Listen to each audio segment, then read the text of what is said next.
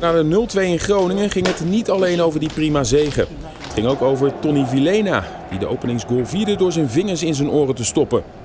Ik vond het ook een hele onverstandige reactie van hem. En, uh, dat had ik niet verwacht van hem, want ik dacht dat hij professioneler zou zijn. Maar blijkbaar is het uh, toch nog een kind in een, in een volwassen lichaam. Vorig seizoen maakte Vilena in Groningen ook de 0-1. Het was de opmaat voor een succesvol seizoen van Feyenoord en van Vilena.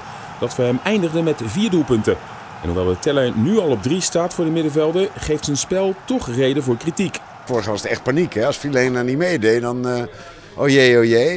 Ik weet nog of die, die, die, die zaak nog in Zeist, hè, dat iedereen mij, hij moest en hij zou meedoen. Uh, dat onmisbare heeft hij niet meer, zeg maar. En de jongen is nog geen man geworden. En dat zou dit seizoen eigenlijk wel een uh, moment voor zijn. En hij mag ook wel eens even opzij kijken.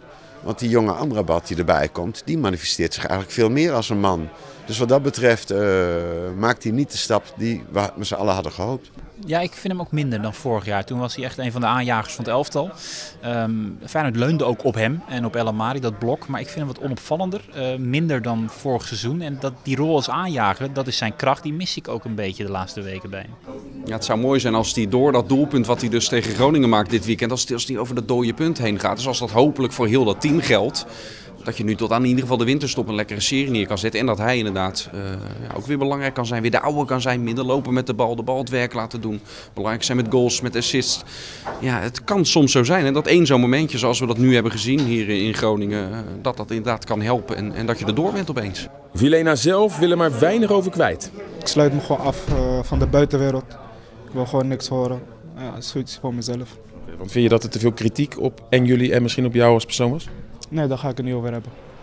Het is natuurlijk niet alleen Tony Vilena die niet dezelfde lijkt te zijn als vorig seizoen en grote kansen mist in de afgelopen weken. Het rendement, of het gebrek daaraan, bij de vele kansen, is iets waar het hele team last van lijkt te hebben. Ik denk dat hij, dat hij gewoon mee is gegaan met het hele team. Het hele team is gekapseist. En hij is een man die volgens mij vooral goed speelt in een werkend team met een duidelijke functie. En niet de man die de ploeg eroverheen gaat trekken. Hij probeert het hele elftal te dragen. Hè. Dat is wat hij, hij voelt de verantwoordelijkheid. Hij is nu ook wel wat van de ervaren jongens die al heel lang hier rondlopen.